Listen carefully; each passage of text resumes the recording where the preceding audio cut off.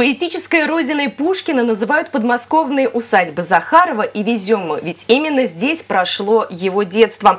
В этих местах будущий литератор впервые увидел красоту русской природы, познакомился с фольклором, увидел жизнь богатого и провинциального дворянства. Здесь формировались его взгляды на жизнь, здесь он начал писать свои первые стихи. Сейчас на территории двух усадеб расположен Государственный историко-литературный музей-заповедник Пушкина. Какие экспозиции сейчас в нем представлены? Представлены, зачем сотрудники учреждения недавно посетили Иркутск и чем в заповеднике могут заинтересовать юных краеведов. Об этом и не только мы сегодня и поговорим. Здравствуйте! В прямом эфире ОТВ-программа «Главная тема». Меня зовут Евгения Августина. А в нашей студии сотрудники музея-заповедника Владимир Сизов, заведующий отделом информации, и Ольга Броницкая, заведующая отделом музейной педагогики. Здравствуйте! Здравствуйте! А я напоминаю телезрителям, что мы работаем в прямом эфире 8 490 95 508 86 84. Наш номер телефона, по которому вы можете задать э, свой вопрос гостям студии. Кроме того, прямой эфир сейчас идет в социальной сети Instagram. Там вы можете оставлять свои комментарии, вопросы. Все обязательно озвучу. Ну, давайте интригу раскроем. Зачем же так далеко было ехать сотрудникам музея-заповедника Пушкина? А, вы имеете в виду город Иркутск? Именно. А... Ну, не Одинцово, как сегодня. Ну да, конечно, наша страна очень большая, вот, и, наверное, пожалуй, одна из самых дальних э, выставок, э, которую мы повезли в Иркутск, э, эта выставка называется «В альбоме вашем...» в альбоме вашем я пишу. Выставка посвящена такому интересному и вообще невероятному, невероятно глубокому экспонату а, нашего музея, альдамскому альбому Мы начала 19 века. Здесь. Да, ну, собственно говоря, вот здесь можем посмотреть некоторые картинки из этого альбома. Вообще, альбомная культура это была, это была невероятно популярна среди русских дворянок э, в конце 18-го, начале 19 века, и расцвет этой культуры приходится на 30-40-е годы 19 э, века. Ну, в чем была суть? То, что у каждой дамы был, у каждой дамы-дворянки был такой альбом, куда кавалеры могли написать. И Александр Сергеевич Пушкин. В том числе Александр, Александр Сергеевич Пушкин могли Писал написать э, какие-то пожелания, стихотворения, могли нарисовать картинки. Э, ну, на самом деле, э, история вот этих альбомов, она немножко идет э, как бы она всегда сопровождала нас до того момента, как у нас появились социальные сети и другие. И, в принципе, в нашем даже... детстве были вот такие анкеты, помните, для друзей, да, ну, примерно, да, да что-то да. похожее, может быть, менее литературное. Да, и, ну, всегда хотел, хотелось э, дамам иметь, ну, не только дамам, вообще людям иметь воспоминания о своих друзьях, о своих знакомых, о каких-то интересных встречах, и поэтому они вот заводили такие альбомы и э, хранили. Вот сейчас у нас очень легко мы можем там позвонить кому угодно, да, есть мобильные телефоны, там, ну, а связаться по интернету, а в то время все-таки вот с человеком пообщались где-то, встретились, подружились, и расставание было, могло быть очень-очень долгим, и встретиться порой раз было практически невозможно. И поэтому всегда хотелось иметь э, частичку воспоминаний об этом человеке. Вот э, дамы, имея этот альбом, они как бы давали э, этот э, альбом, чтобы там могли написать для них пожелания или нарисовать какую-то интересную картинку. И вот музей-заповедник Пушкина э, приобрел такой вот интересный альбом, принадлежащий одной даме. К сожалению, мы не знаем, как ее звали. Мы знаем лишь то, что она, ее отец был крупным промышленником, он занимался солеварением. И они вместе с ней, э, он, а, она вместе с своим отцом путешествовали из Москвы сначала в Нижний Новгород, а потом в Астрахань. И вот э, во время этих поездок она, видимо, эта дама была очень красивой, ее окружали а, такие галантные кавалеры, военные, которые ей писали туда свои пожелания, стихи. И когда начали разбирать, а, кто именно ей писал, там сохранились их инициалы, их имена, то выяснилось, что все эти люди принадлежат, э, ну, они не были такими первостепенными э, людьми Пушкинского круга, но вот на, на втором плане они фигурируют. И вот альбом невероятно красивый, он очень яркий, там есть э, очень такие красивые, красивые картинки, красивые пожелания. Более того, этот альбом дополняет очень такой интересный момент, в нем есть акварель с изображением Александра Первого, но сделана она была уже в конце 30-х годов. То есть, как мы знаем, Александр I э, уже в этот момент давно не правил, а правил э, его брат Николай I. И почему, вот такая даже загадка, да, почему кто-то ей нарисовал э, этот рисунок, так, портрет Александра I. Причем самое интересное, что рисунки сделаны в этом альбоме, они имеют очень такую высокую художественную ценность. То есть люди, которые рисовали, они обладали незаурядными художественными способностями, возможно, даже э, являлись именитыми художниками. Вот, ну, просто мы не можем их установить, потому что они не все подписаны. А, ну, чем суть? Вот в чем суть этой выставки? То есть альбом, вот когда он лежит в экспозиции, мы можем посмотреть только лишь либо его обложку, а, либо какую-то из самых, наверное, интересных картинок. И вот э, наши сотрудники, они придумали такую интересную э, такую экспозицию, то есть распечатали все эти рисунки, и весь этот альбом можно, по сути, пролистать. Вот, и познакомить э, экскурсантов и посетителей музея с Э, всем содержимым этого альбома и, и не только, и с, с альбомной культурой. Я вот э, сейчас Ольге задам вопрос. На самом деле, Владимир интересную параллель провел между вот теми альбомами и нынешними, ну, соцсетями. Но ведь души-то в них меньше. Как вы думаете, вот хотелось бы вам на руках такой альбом иметь? Может Конечно. быть, стоит вернуть вот те какие-то традиции давно А утраченные? я думаю, что эти традиции возвращаются. И э, вот мы с детьми очень часто заводим такие блокноты, в которых оставляем свои впечатления. А, в том числе вот в нашем клубе краеведов, у детей, у наших юных краеведов есть такие альбомы, в которых они как раз записывают впечатления о наших встречах. Не говорю занятиях, потому что у нас это все происходит как встреча. То есть это такое более неформальное что-то? А, ну да, потому что наша цель а, прежде всего это живое общение. А, наверное, я не скажу ничего нового, но мы пытаемся а, отодвинуть детей от гаджетов, отвлечь их. И когда они приходят к нам в детский центр, они именно получают это общение. Они начинают прежде всего общаться с собой, сами с собой вживую, в том числе и записывать эти впечатления.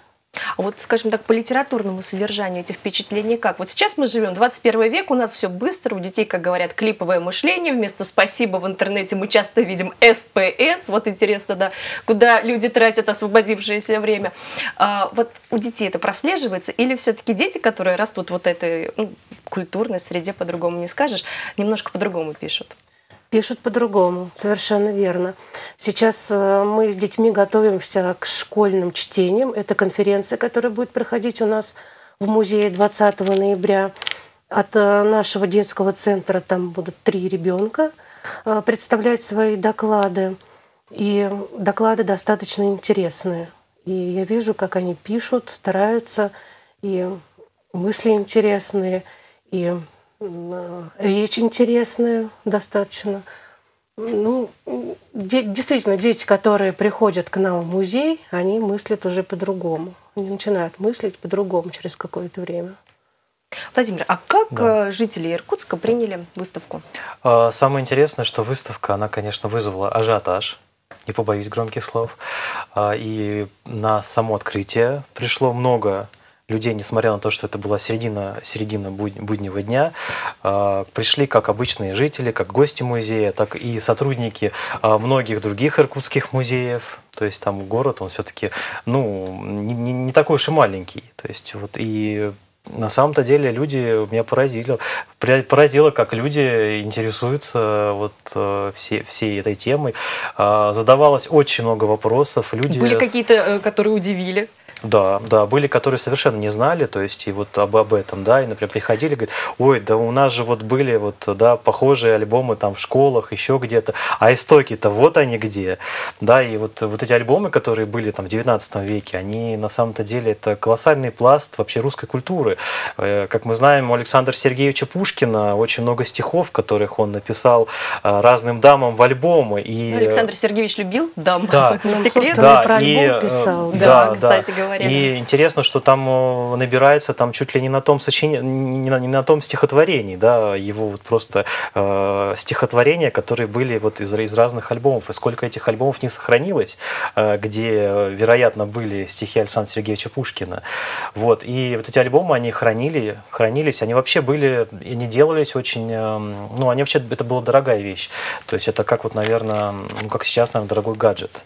Это потому что сам, сама выделка этого альбома, он делался из софьяновой кожи, из, э, там нередко были позолота на этом альбоме, на этих альбомах украшались различными там узорами, там, в том числе и арабской вязью, и молодая дама, которой, наверное, скорее всего, родители дарили этот альбом, это, она, конечно, себя чувствовала очень так вот.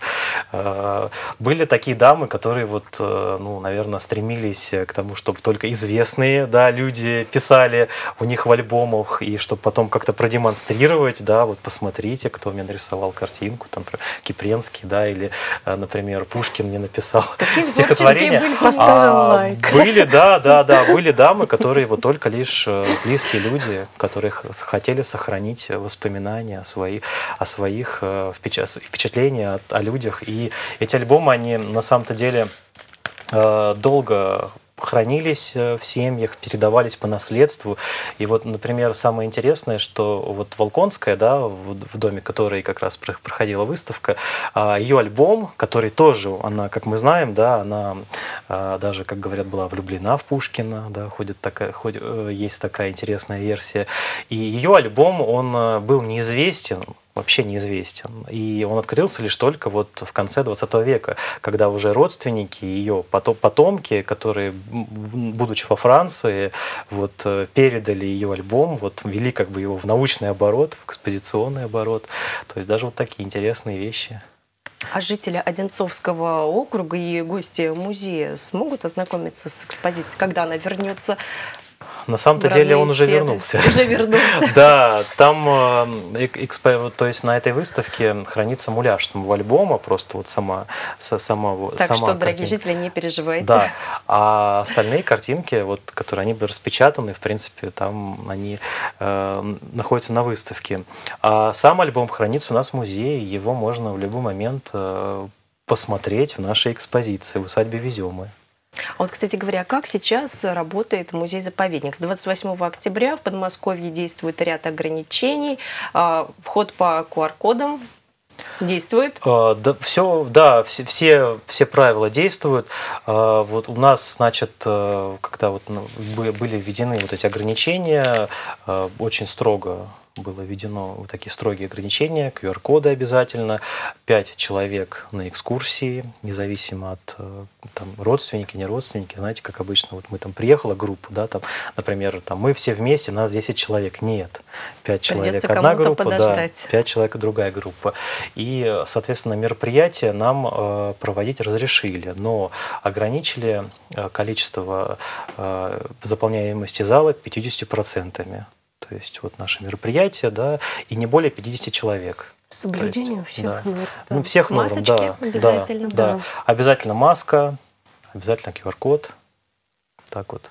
Ну, люди идут, несмотря на это. Вы знаете, неожиданно, неожиданно, но наш музей очень пользовался большой популярностью вот на прошлой неделе и посетило очень много людей. И вот Ночь искусств у нас проходила в онлайн-режиме, но тем не менее было очень много гуляющих экскурсантов, э, ну и те, кто приезжали на экскурсии. То есть э, для экскурсоводов работы было много.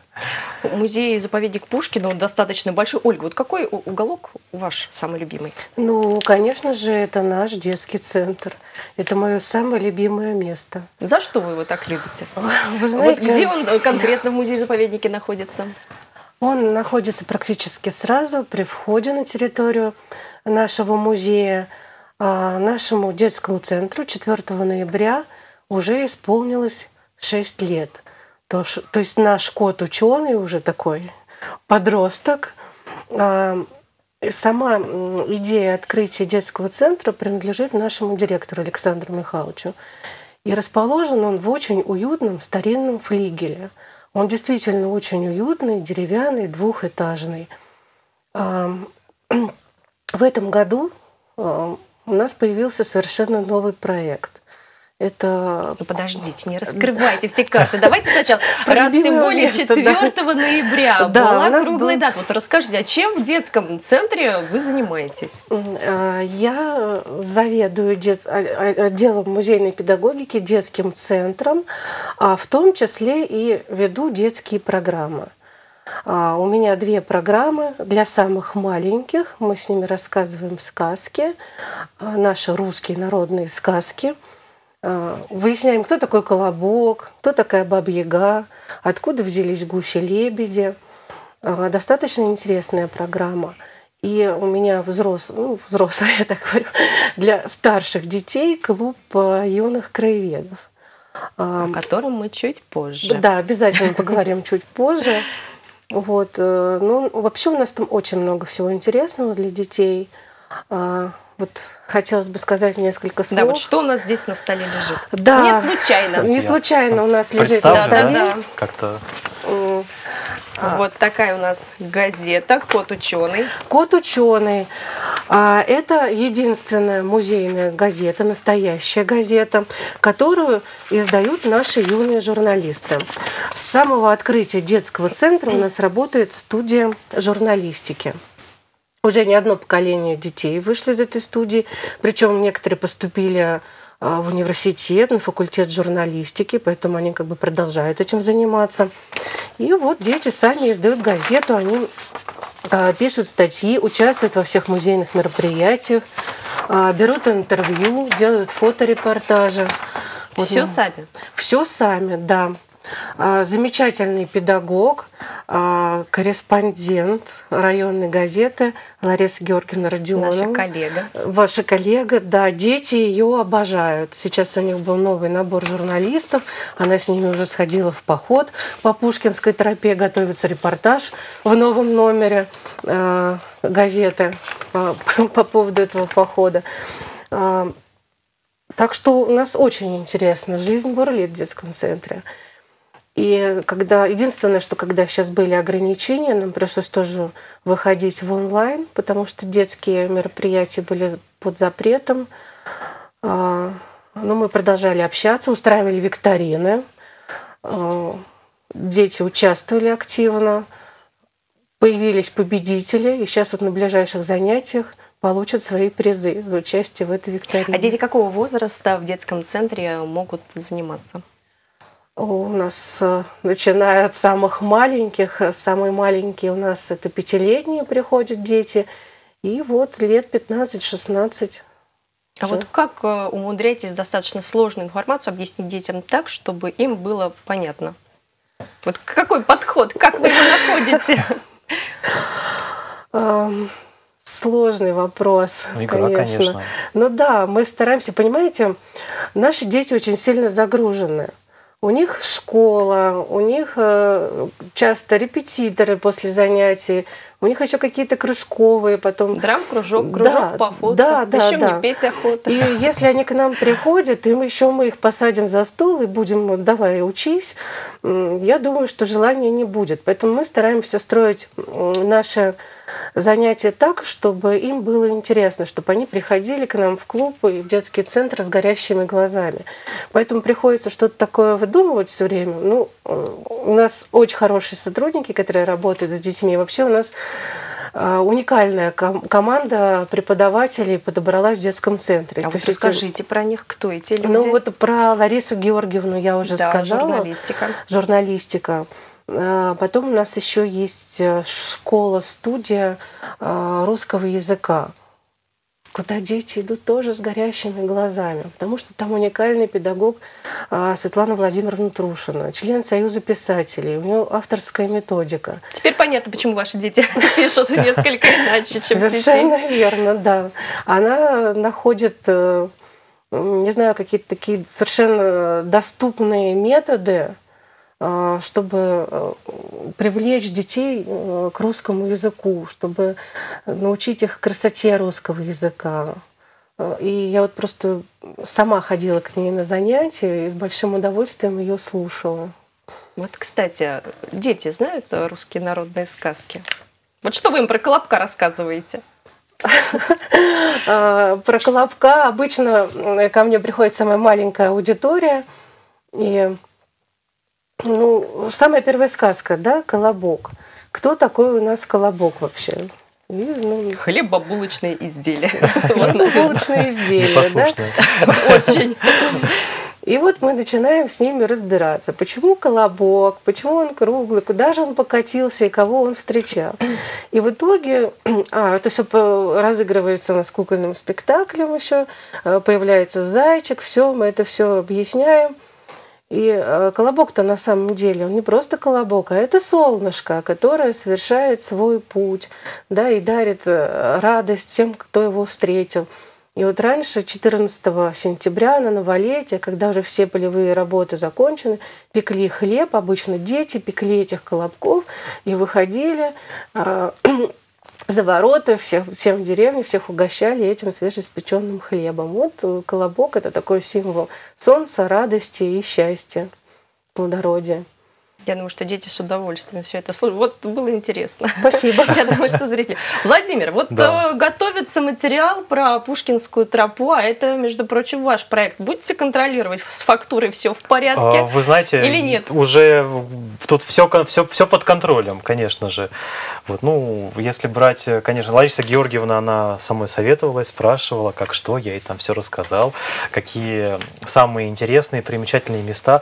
Но, собственно говоря, она с самого начала начала-то этого проекта она всегда следила, она писала о нем. Она, наверное, о нем знает больше, чем мы, я уже думаю так. Вот, кстати говоря, экскурсии по Пушкинской тропе будут продолжены? Будут. Э, вот э, сейчас, конечно, уже сезон закончен, потому что ну, холодновато. Стало холодно, а уже весной начнем заново.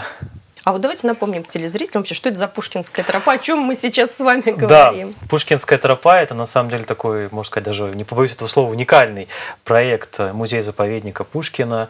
А, э, то есть и нас, в наш музей входят две усадьбы. Усадьба Веземы – и усадьба Захарова. Но находятся они очень близко друг с другом, там всего лишь 3 километра пути, но пешком до недавнего времени преодолеть эту дистанцию было очень сложно, потому что с одной стороны Можайское шоссе, с другой стороны а, Звенигородское шоссе, так называемая бетонка. Там еще есть железнодорожные пути, и чтобы Красота неописуемая. Люди часто приезжают, да, и спрашивают, вот как мы пешком, мы хотим пешком прогуляться. И мы вынуждены были им говорить, что, наверное, никак. Лучше этого не надо делать, потому что сначала нужно идти по Можайскому шоссе, потом по Звенигородскому шоссе. По, по Можайскому шоссе едут фуры, ну, все наверняка знают знаменитый переезд э, в малых веземах, который э, всегда загруженный. Вот. Ну и мало приятного. Подышать свежим воздухом да, не получится. Да, зимой это еще как-то вот летом, да, еще как-то более-менее можно было, а зимой так вообще невозможно. И наши сотрудники, ну, мы придумали такой интересный проект, э, чтобы добраться из Везем до Захарова, по пересеченной местности, а, совершив такую уникальную прогулку, полюбовавшись а, живописной, живописной природой нашей подмосковной, уходящей, которая, которая активно от нас уходит, ее застраивают, то есть нам остаются какие-то клочки. Но самое интересное, что сохранилась, что вот именно в том месте она еще в какой-то степени она сохранилась. Но это историческая справедливость, да, по-другому да. не скажешь. Более того, а, там именно вот эта тропа, она не просто так придумана. Именно в, том, в тех местах и проходила та самая древняя дорога из Везем Захарова, по которой Александр Сергеевич Пушкин со своей э, бабушкой, э, со своей няней знаменитой э, ходили из Захарова, Веземы каждое воскресенье в церковь Преображения на службу. И в гости также к своим родственникам, князьям Голицыным. Вот. И, э, конечно, я уже неоднократно видел, когда приезжали, особенно из Москвы, группы ну, детей, взрослых, и когда мы входили вот э, в эту природу, Э, как вот у людей, э, как они менялись, как у них снималось вот это напряжение. Представляете, там разнотравье русское, да, поют птицы. И, конечно, люди, приехавшие из э, вот этой вот Москвы, где плотная застройка, где машины, все загазовано. Конечно, суета еще самое суета, главное. да, конечно, они так вот терялись. И так, давайте, может быть, помедленнее еще пойдем. Да, да, да, там, кстати, в двух местах. В двух местах пересекают наши местные речки, Веземку и Шараповку. Через, через эти речки мы перекинули мосты, и там, конечно, Красота. журчание воды такое удивительное. А, ну, конечно, хотелось бы, чтобы этот проект, он был как-то отражен. Вот мы, конечно, так вот добиваемся, чтобы его внесли а, в реестр да, туристических маршрутов, чтобы он, может быть, он был даже быть отмежован как-то, да. А, ну, вот работаем над этим вопросом. Ну, может быть, когда-нибудь это удастся. Будем надеяться, да. что это обязательно На самом удастся. деле много идей вообще просто колоссальное количество идей, что можно там сделать, но пока они все вот еще э, в таком зачаточном состоянии. Вот, мы активно косим там траву, вот, мы убираем там мусор, мы высаживаем там деревья, вот, ну, вот такие мероприятия все, мы что проводим. в ваших силах, все делаете. Да, да. Вот, кстати говоря, мы заговорили о Спасо-Преображенском храме. А между прочим, когда-то его купол э, украшала большая, красивая белокаменная корона. А мы узнали, где этот уникальный экспонат можно увидеть сейчас. Внимание на экран. Семиглавый четырехпрестольный двухэтажный храм был воздвигнут в Больших Веземах Борисом Годуновым в конце XVI века. Тогда эти земли были государственными. Век спустя Петр I пожаловал их своему воспитателю Борису Алексеевичу Голицыну. Первым делом новый владелец принялся за реставрацию храма. Он нанял мастеров, для реставрации храма. Это и зафиксировано в источниках, что храм а, реставрировался.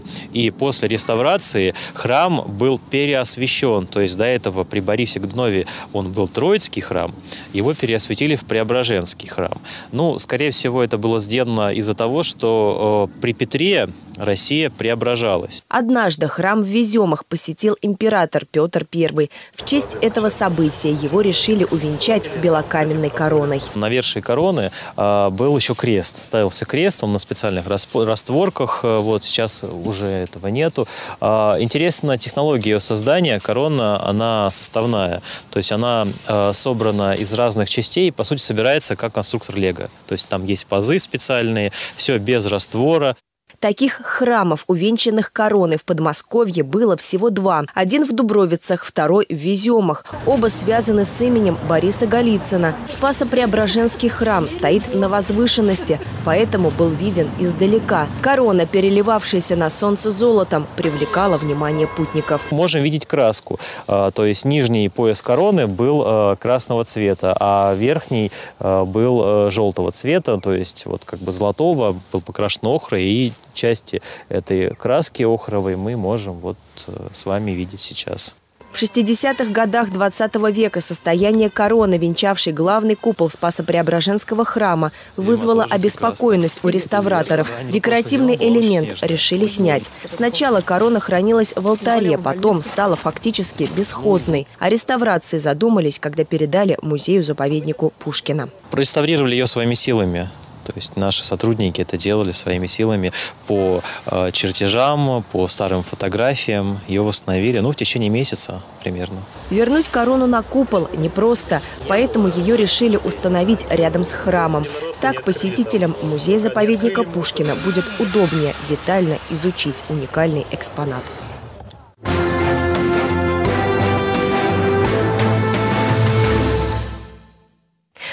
Эфире ТВ программа «Главная тема». Сегодня мы говорим о музее-заповеднике Пушкина в Больших Веземах. 8 495 508 86 84.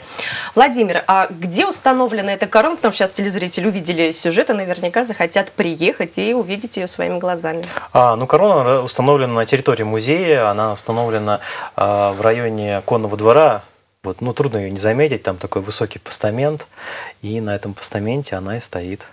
Вот. Зимой будет э, доступна посетителям? Она круглый год доступна, она находится под открытым небом. Вот. Ну, было много, много разных идей. Вот э, корону, кстати, очень хотел восстановить э, наш директор Александр Михайлович Рязанов.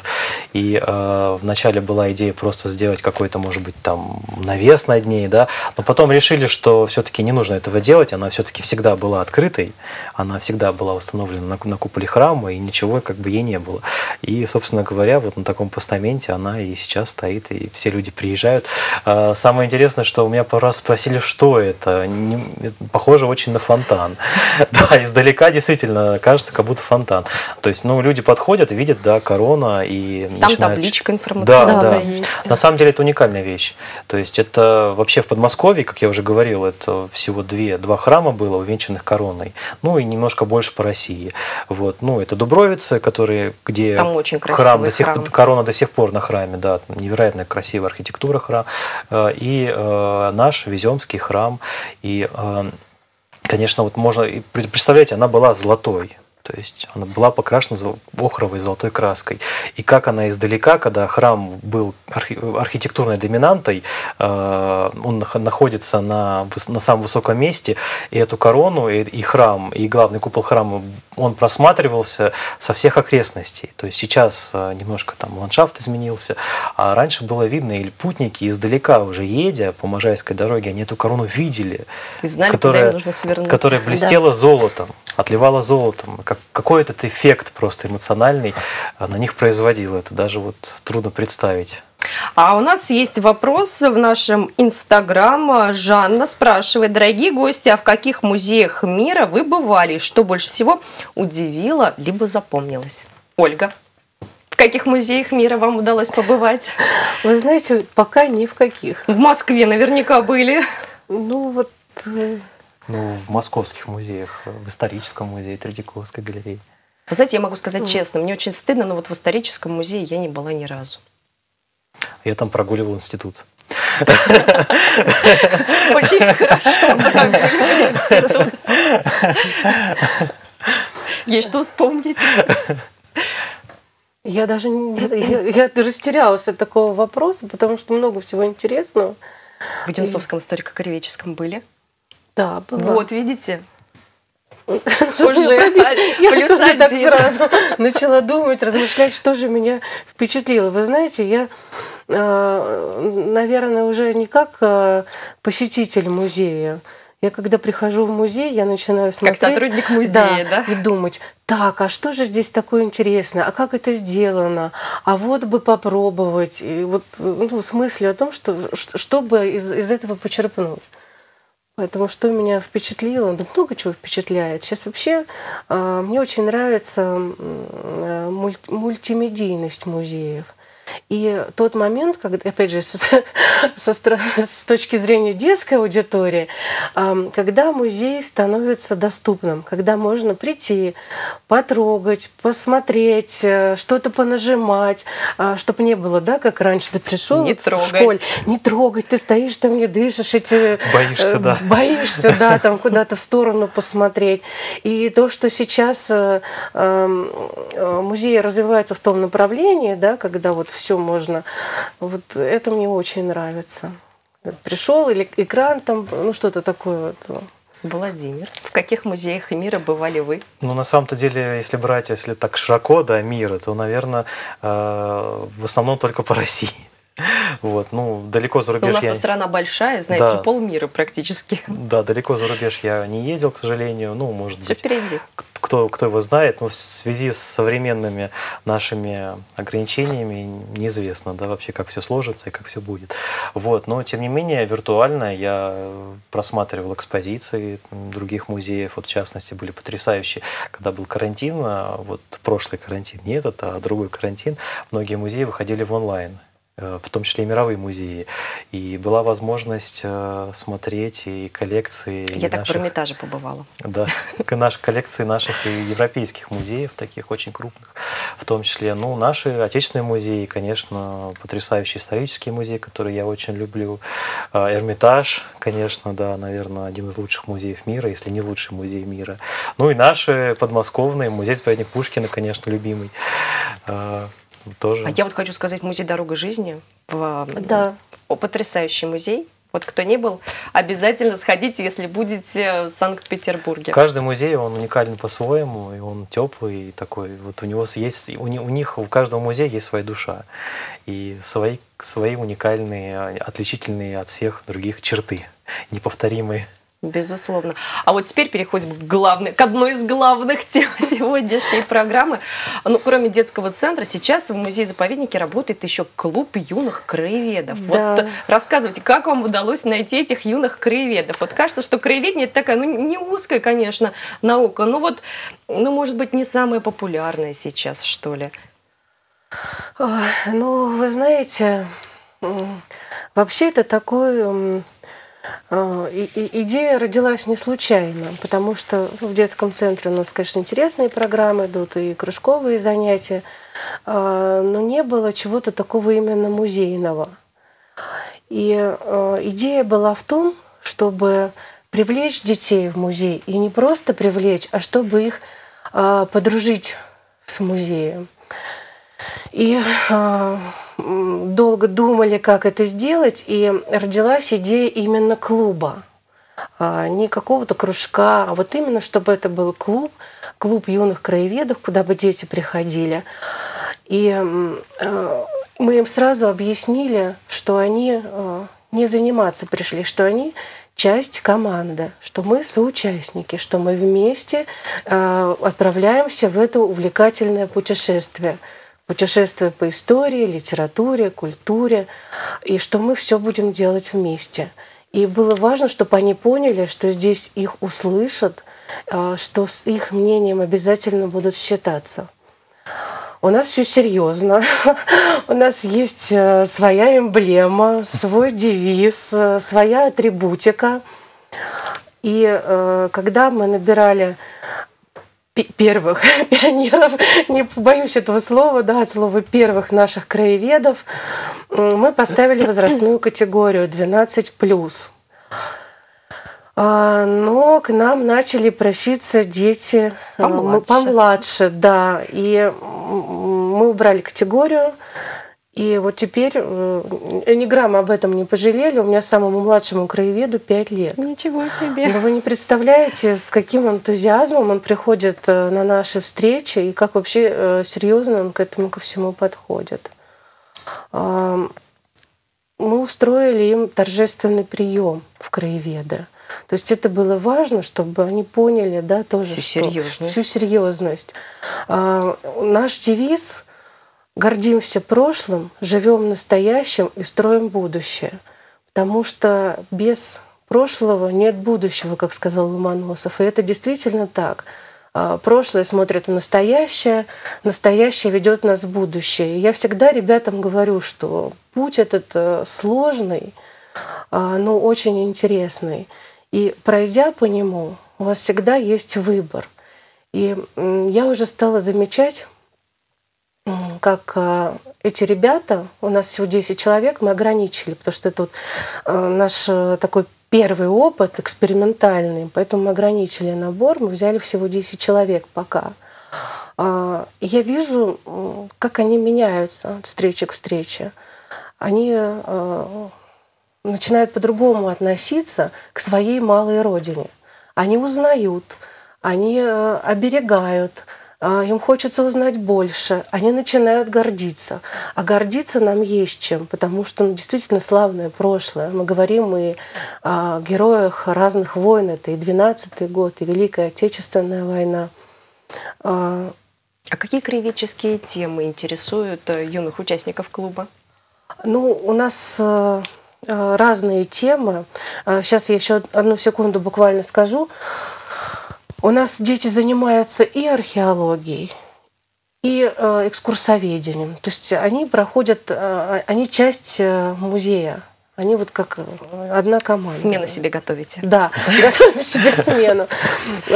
И темы совершенно разные. Вот, например, одно из последних занятий было археологическое. Наш научный сотрудник, археолог, он им рассказывал, как правильно вести раскопки, как э, готовиться к ним, как это все проводится. Они сами это все посмотрели, э, попробовали. И следующее занятие у них уже идет в экспозиции, где они видят результат, результаты вот работы наших археологов. И они не только смотрят, они еще в этой экспозиции проговаривают, чему посвящена эта экспозиция, и готовят экскурсию. И вот вы представляете, как будет здорово, когда а, ребенку всего 11 лет, а он для своих одноклассников проводит экскурсию в музее, настоящую экскурсию в настоящем музее. То есть они себя чувствуют как сотрудниками уже. А потом они у нас еще принимают участие во всех музейных мероприятиях. Мы их стараемся к этому привлекать. Вот это вам удалось их так заинтересовать или дети изначально пришли заинтересованные? А, я думаю, что они пришли изначально заинтересованные. Потому Вы подогрели еще больше да, этот интерес. Да, конечно, мы подогревали интерес, заманивали.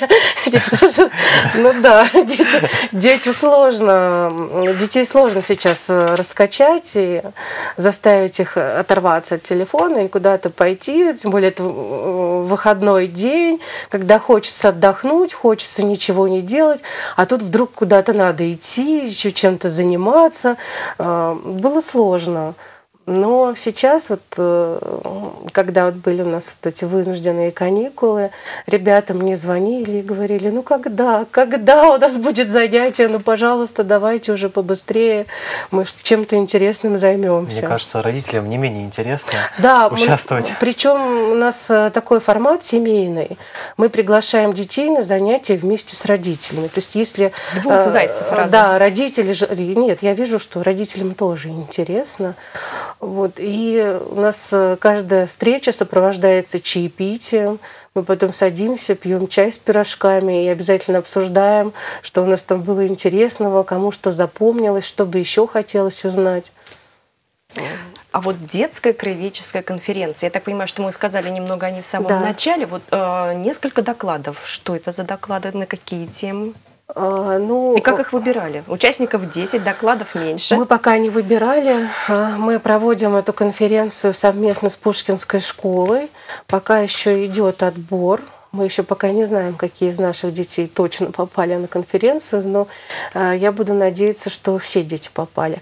Два мальчика это от нашего клуба краеведческого с двумя докладами совершенно разными. Один доклад посвящен э, Великой Отечественной войне, а второй доклад посвящен э, Пушкину о путешествиях Пушкина в Захарово. То есть интересные такие там факты мы нашли с нашими краеведами, которые мы будем презентовать на этой конференции. И еще у нас одна девочка, она выступает от детского центра, но от э, студии журналистов. Она готовит доклад о э, боях в Кубинке в 1941 году. Презентация очень хороший, такой достаточно серьезный доклад будет. Пока ребята участвуют в детской краеведческой конференции, но, наверное, со временем дорастут и до взрослой истории, да. современности, будут уже вместе с Владимиром выступать. Ну, Антон Кузнецов, я думаю, он очень, конечно, будет рад, что растет смена юных краеведов, и что в наши ряды вливаются, вливается свежая кровь. Спасибо большое, что пришли к нам сегодня в студии. Спасибо всем, кто провел свое свободное время вместе с нами. До новых встреч на ОТВ.